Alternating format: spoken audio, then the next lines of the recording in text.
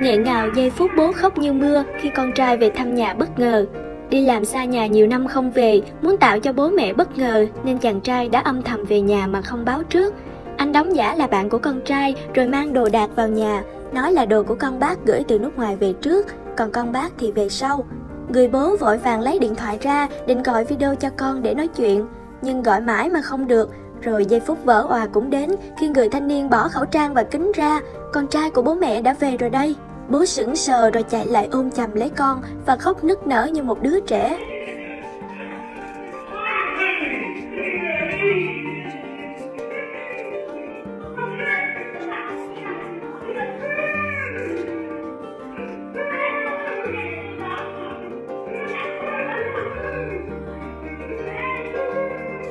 Có lẽ vì sợ con có chuyện gì nên mới gửi đồ về trước và gọi điện cho con mãi không được.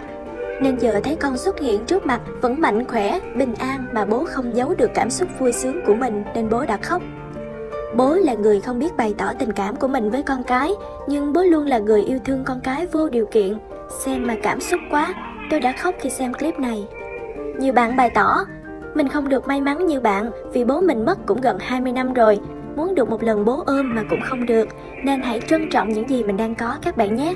Cảm ơn các bạn đã xem cái video của mình. Nếu thấy hay hãy để lại cho chúng mình một like, một share và đừng quên đăng ký kênh để ủng hộ chúng mình nhé. Cảm ơn các bạn rất là nhiều.